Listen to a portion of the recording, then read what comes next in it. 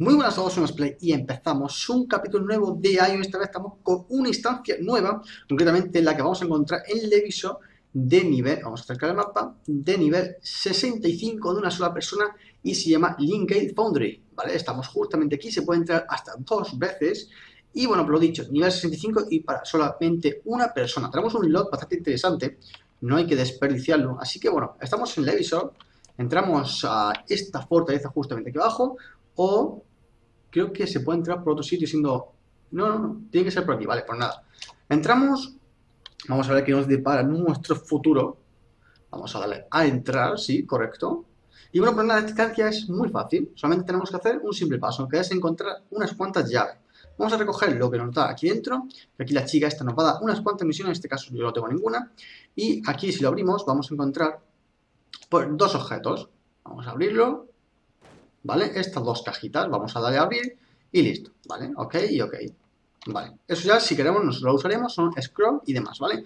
Así que bueno, una vez que salgamos de esta puerta gigante, vamos a abrir el mapa un momento, aparecerá un contador de 20 minutos. Tenemos que hacer la instancia antes de 20 minutos. Muy básico.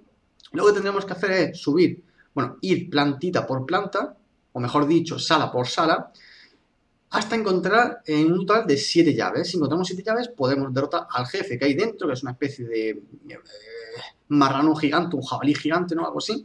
Y cuando lo derrotemos, nos va a dar un lot. Si nos interesa bien, si no, pues nada. Y en estas salas vamos a encontrar hasta 3 plantas. Podemos encontrar toda esta, que son 3, 6, 7, 8, 8 por 3, ¿vale? Un total de 7 llaves tenemos que encontrar a no ser que queramos hacer de... Podemos matar a bot de, diferentes formas, como por ejemplo de una llave, de 5 llaves y de 7 llaves. Contra más llaves, mejor lo va a soltar. Así que bueno, vamos a darle a entrar para que veamos un poquito la cosa. El boss es el que hay ahí enfrente, el eh, Belsagos, Belsagos. Y tenemos pues ya el contador de 20 minutos por aquí. Estos serían los primeros enemigos hay que matar, pero esto no nos contaría para nada. Tenemos que buscar uno que ponga que hay no sé qué que hay Ball o algo así.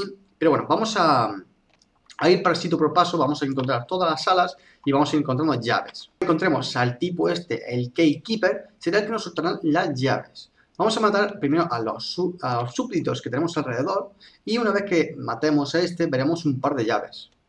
Estas serían las llaves que hay por aquí, vamos a recoger, le damos otra vez a recoger, sí, ok, no, este, esta llave.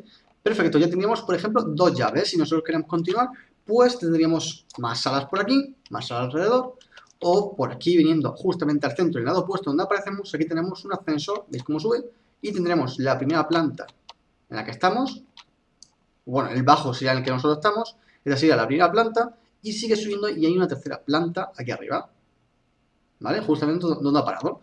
Ahí podemos conseguir hasta eh, las 7 llaves que nos hace falta, ¿vale? Y cuando tengamos las llaves que nosotros queramos, como por ejemplo aquí si le damos al círculo este que está justamente aquí en la planta baja, nos va a pedir cuántas llaves queremos usar, si una, cinco o siete. Ya dependerá también de la dificultad en el que aparezca el propio bicho. Pues bueno, como por ejemplo tengo actualmente dos llaves, porque no vamos a recoger más, ¿no? Vamos a enseñar la más básica, la de una llave, ya que dos llaves no podemos eh, meterle.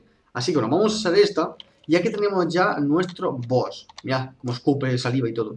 Y aquí también tendríamos un guardián, que hace como tanque, también nos va a ayudar a derrotar al, propio bicho. Ese, ese, personaje ya sabéis que bueno, es un NPC, no usa habilidades, solamente usa pues lo más básico. Mejor un par de habilidades de las básicas del Templar, pero poco más. La verdad es que no es que sea un personaje que digas, wow, ¿no? Pero bueno, ahí está de apoyo. Nosotros tenemos que intentar que tanque todo lo posible, ¿vale? Todo lo posible. Si soy clérigo o soy chanter, pues puede incluso recuperar la vida.